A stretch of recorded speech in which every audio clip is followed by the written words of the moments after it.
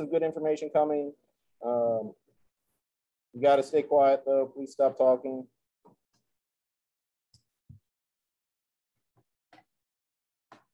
Open up this one.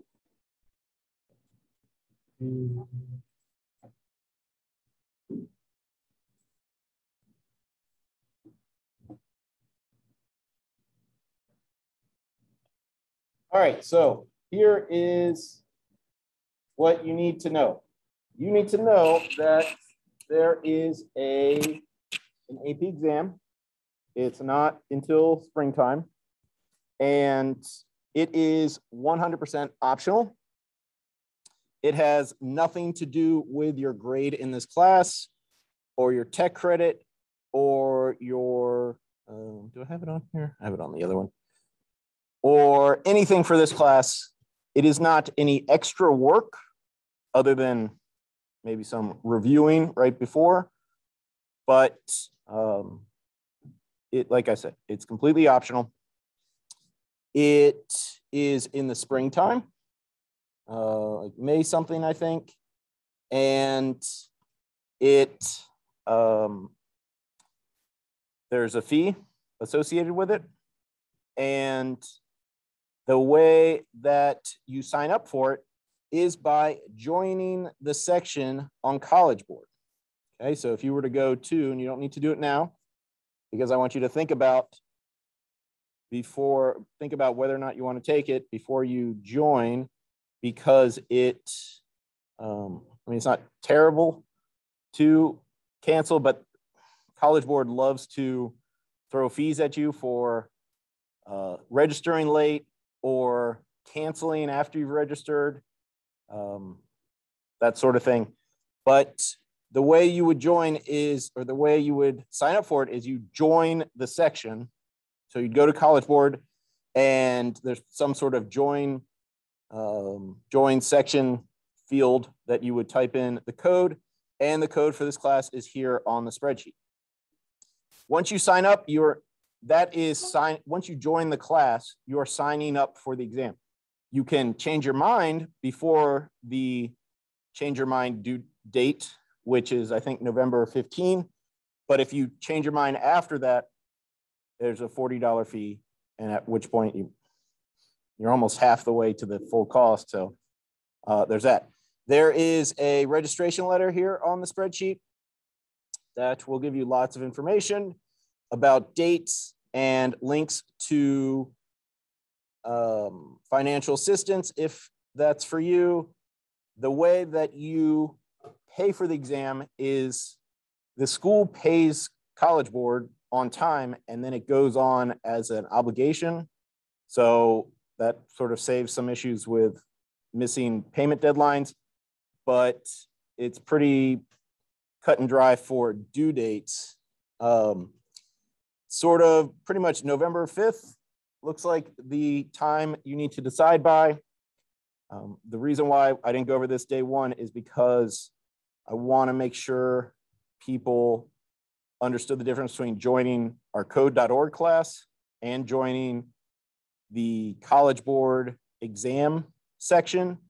Also, for the sake of people that leave the class after one day, if they had joined the section, I have no way of getting in touch with them to uh, tell them to cancel. So that's why I waited a week or two, or three weeks. How long have we been here? To um, tell you guys about it. Um, if you look through the exam description and course description, there is a digital portfolio associated with the exam, which I think is like 40% of the exam. It changes every year. But there is a project that we are going to do in this class for a grade. Everyone's going to do it. If you decide to take the exam, you just upload that project. So it's not any extra work from that perspective. Uh, then there is the regular sit down 75 question multiple choice thing. And you don't really need to worry about that until it gets even close. And we have plenty of review materials. It's not terrible. On the spectrum of difficulty for AP classes, it is consensus that computer science principles shades towards the easier end.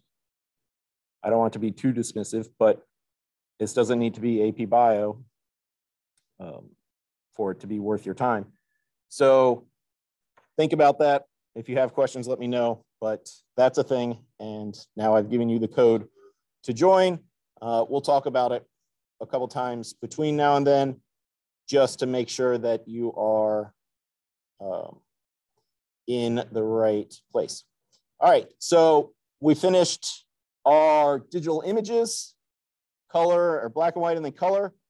Today is text compression or compression day, okay? We, this is a very fun lesson that people tend to really get into. And the idea or the goal is to understand the concept of compression.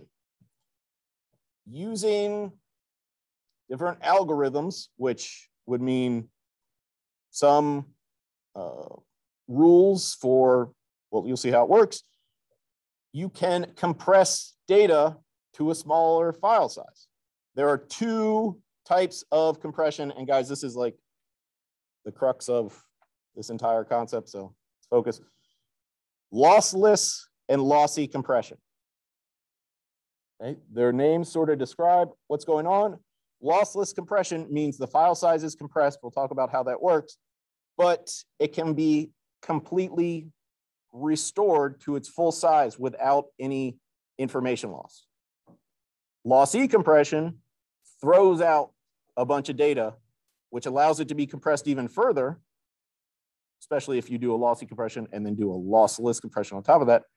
But it throws out data, which makes it much more compressed for all the value of that. But when you go to restore it, it will be a lower quality file. And if you've ever uploaded files from your phone to some cloud thing and then tried to download them somewhere else, they're probably going to be lower files, uh, lower quality uh, images, which for the most part is fine considering how unbelievably powerful phone cameras are. You don't really need uh, that quality of an image. And the smaller file size is fantastic. It takes up less storage and it is faster to transmit uh, from any uh, way. Uh, can you hold off on the food? Thank you. Okay, so the activity for today is a, well, we're actually doing lesson nine and 10.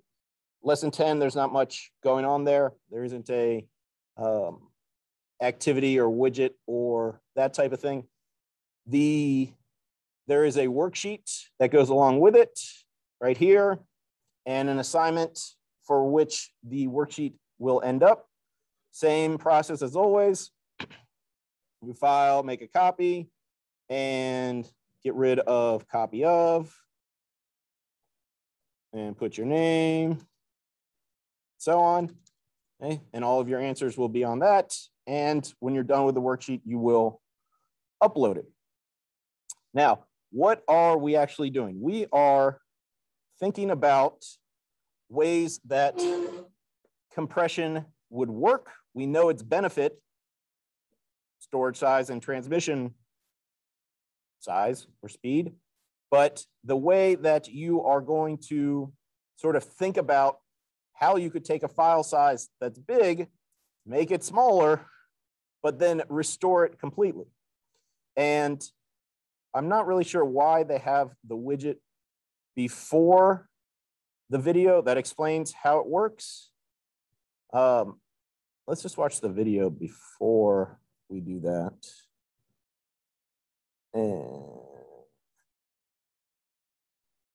let's go like this. Again, if you're watching this asynchronously, uh, that is to say later, you should probably go to uh, the bubble here and watch it on your own rather than watching it on this recording because it gets super compressed.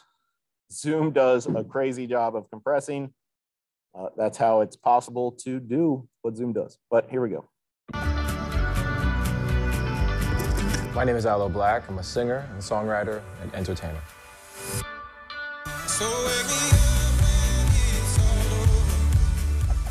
when it became more and more important for artists to have a presence on the internet, I, I quickly uh, developed the skill to you know, build a website and get online, use my knowledge of coding to make it so that people could learn more about our music. Every bit of data or information can be stored digitally. Whether it's numbers, text, pictures, music, or video, all of it can be represented digitally. That means the information can be represented by electrical signals that are on or off, or as ones and zeros, so to speak. But representing information in ones and zeros can take up a lot of space. For example, if you wanted to store a three-minute song digitally, it would take up over 30 megabytes of space. A one-hour HD video would take 800 gigabytes. In the real world, digital information is compressed to take up less space. A 30 megabyte song can be compressed down to 3 megabytes. An hour-long video can be compressed from 800 gigabytes down to just 1 gigabyte. Sometimes compression is lossy, which means that to save some space, some of the information is thrown away. For example, an image can be compressed to a lower resolution to lose some detail. Lossy compression is useful because in many cases, the human eye or ear can't even notice the details that are being lost. When you compress data without losing any details, that's called lossless compression. This means the compressed data can be decompressed back into the exact original. One way of doing lossless compression is to find patterns in the data you're trying to compress. As an extreme example, imagine a book about dogs with hundreds of pages using only one word. Each page just says dog, dog, dog, dog, dog, over and over a million times. Instead of writing it all out, you could just store the pattern, dog times one million. Now that's a silly example, but let's look at a more real example. Instead of a book, imagine the lyrics of a song. If a single word or phrase is repeated a lot, you can store that once and then reuse it without repeating the data. Let's see how this works with a simple text compression widget. This widget lets you experiment with compressing text. You want to represent the original text with as few bytes as possible. The widget lets you try compressing different ways and see it as it happens. Let's see how it works. The widget shows you some text to compress. In this example, lyrics to one of Aloe Blacc's songs. In the dictionary area, you can type patterns you see in the text. For now, let's just look for words that repeat. As you type in the dictionary area, a single symbol will be substituted in the main text area. In the example here, you can see each occurrence of the words I was has been replaced with the symbol of a sun, and I'm has been replaced with an umbrella. If you sent the compressed version of the lyrics to someone, you'd also have to send along the dictionary so that they could reconstruct the original text. So the question is, is the total number of bytes in the compressed text plus the bytes in the dictionary less than the number of bytes in the original text? The answer is yes for our current example, and the widget shows you how it's calculated. We assume that every character that needs to be sent takes one byte. So the display shows the compressed version of the lyrics with the symbols substituted in it has 216 bytes, or characters. It also shows the number of bytes in the dictionary as 10. This is to store the words I was and I'm, also the symbols that represent those patterns. This gives us a total of 226 bytes. We can see that the original text had 240 characters, or bytes, so we reduced the bytes needed to represent the poem by 14 bytes, or 5.8%. Not a bad start. Looking for words that repeat is a good start, but you can look for other patterns. Sometimes a repeating pattern could be a subpart of a word or many words. Here's where it really gets cool. You can find patterns that include dictionary symbols you just made.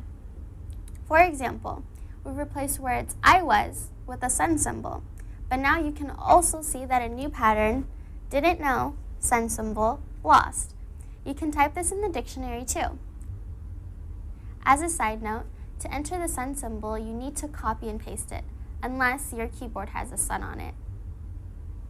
With that little change, we're now up to 26% compression. Try it yourself and see if you can do better. The repetition in a song lyric or poem is obvious, but really any form of information can have repetition or patterns in it. They're just not as obvious.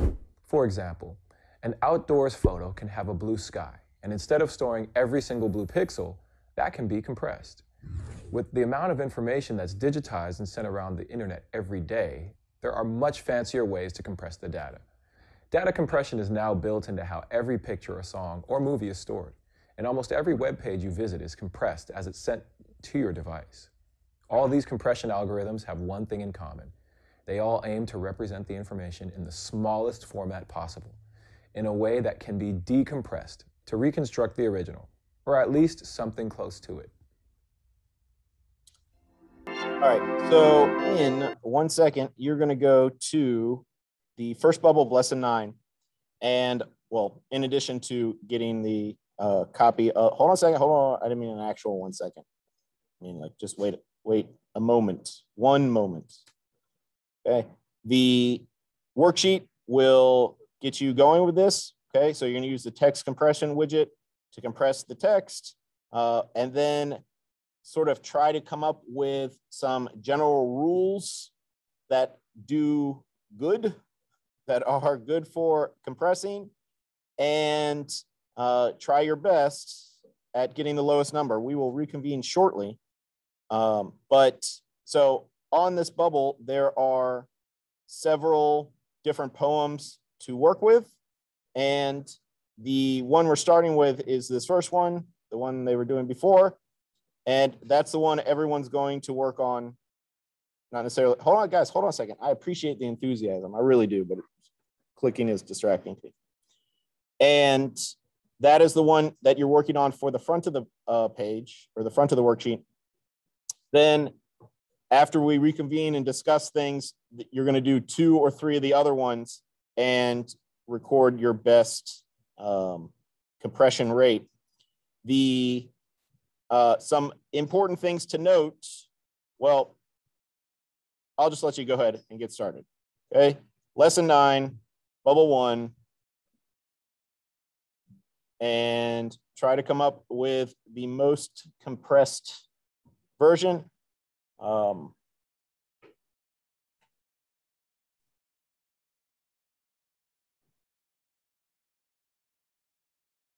I think we'll probably, once we get to the back of it, we will discuss or try to keep track of the best for each of them, like the records.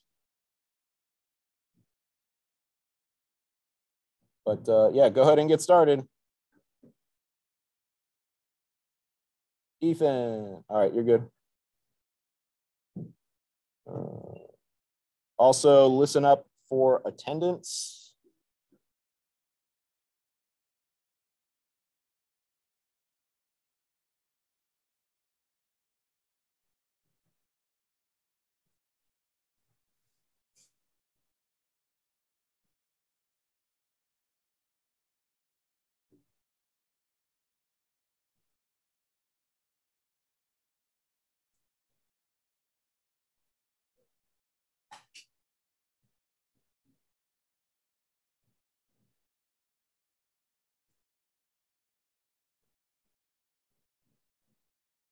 Uh, Antonio? Is that you? Okay. Do you understand what's going on? More or less? Your, uh, your neighbors are pretty with it.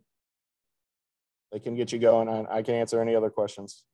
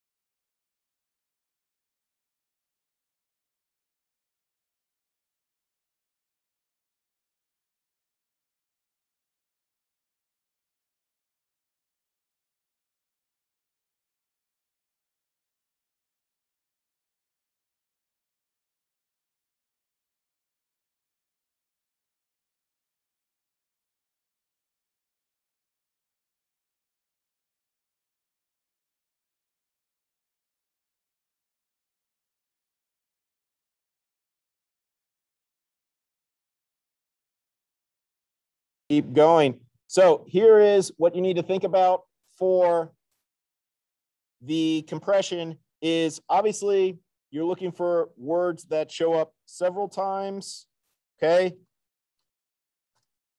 Okay, just having didn't in there saves you uh, 11% right off the bat. But you might notice that every time there's a sun, there's a space afterwards. If you add a space to this, it will get you some more compression. Some of the suns have a space before them, but not all of them, which means if you do the space before it, it's not necessarily going to help. And um, there's that. So there's other things to think about in terms of longer dictionary entries tend to be better because it's one character replacing more letters from the original source.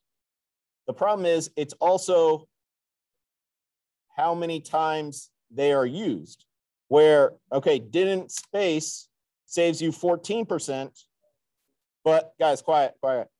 But space didn't only saves you, space didn't space, only saves you 13.75. That is a longer dictionary entry, which is good, but you only get to use it one, two, three, four, six times. Where if you get rid of that first space, uh, you get to use it one, two, three, four. How is that possible? One, two, three, four, five. You get to use it seven times. And so there's that. Other thing is, if you have something that only happens once, you are going to lose space. So the first word here is so, and it gets replaced with a sun. So in the compressed data, we've gone from SO to just sun. That's saved one, except it's costing us three. Having that as a dictionary entry costs you two for the entry plus one for the sun, which means uh, we have, we've saved one over here, but we've spent three over here. So we're two in the wrong direction. Okay. And as long as you are doing things that don't happen frequently, you are not going to uh, make up space. Now for the worksheet, uh, some important things to note. Guys, listen up, just stop typing, clicking. You don't have to turn off your screen, just wait, quiet, I'll tell you.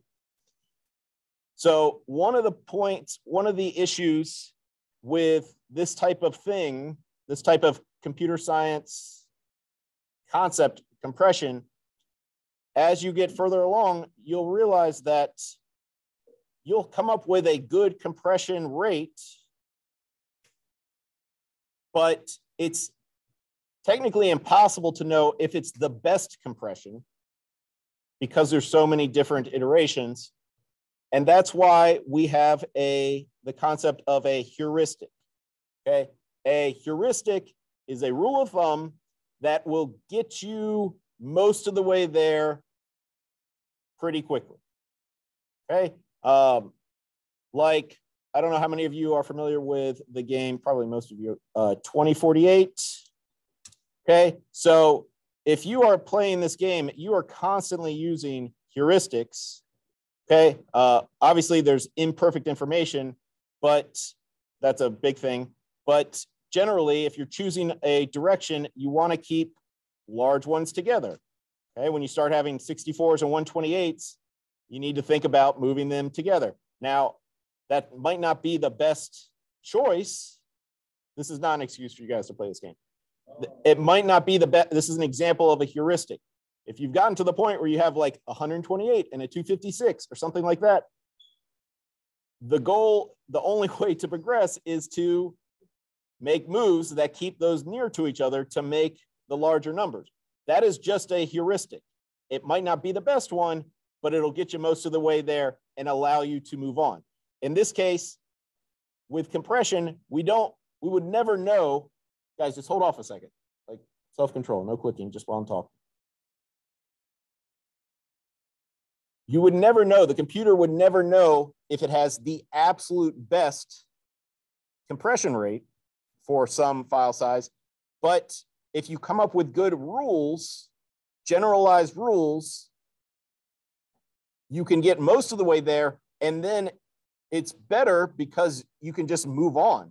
If you spend all your computing time finding like a slight smidge bit better, that's not worth it. You'd rather get pretty good and keep moving and do the next thing. Okay, that is a concept uh, in computer science about coming up with something that's good enough when the absolute best isn't really knowable. Like even if you do get the best, you could spend more time looking for a slightly better one and not know you already have the best. Uh, so there's that. The uh, what we're gonna do is we'll try to come up with the best. I'll I'll make a chart and we'll come up with like the record who can come up with the best compression rate for each of these and have sort of a, a challenge situation. Um, we will spend a few, well, let, us talk about uh, lossy compression so we can get that done and then spend the rest of the time on um, the stuff. Guys, go ahead. just screens off. Okay, it was nice when we had a chance. Just go ahead and screens off and uh, we'll talk about it. So lesson nine doesn't have as cool of a widget. It's really just this um, this app that allows you to compress this image to slightly more. And uh, the point is just like to assess it and be, um, you know, this is a lower quality image, but it takes up less space. Not really much there. The basic idea is that uh, lossy compression throws away data, but can make it much a much smaller compression. That's this the basic idea. And there is a check for understanding. Uh, I know we didn't spend much time on it, but it's still the same idea. Uh, you've been given a new cell phone with a two gigabyte data plan. Plan to use your phone for text messages, images, video, and music. Which of these categories are best compressed with lossless? and which of these categories are best compressed uh, using lossy data or lossy compression. Okay, so you just have to do the check for understanding for this. If you're not sure about that, you can do a little research or discuss it, but the lesson 10 check for understanding is part of this assignment, um, along with the uh, check for understandings for uh, lesson nine, um, which are more specifically about uh, lossless compression. The key takeaway is that you know the difference. The names are not made up. It makes sense. Lossless, there's no loss. Lossy, there is loss. Um, and the benefits, and it's really about trade-offs. Obviously, you want the smallest compression, but maybe you want all of the uh, information to be reconstituted. Okay, so you can go ahead and get going. Try to come up with your best. If you think you have a good um, compression rate, let me know and we'll keep track of the best and we'll keep track of the best for uh, each class. Okay, so proceed.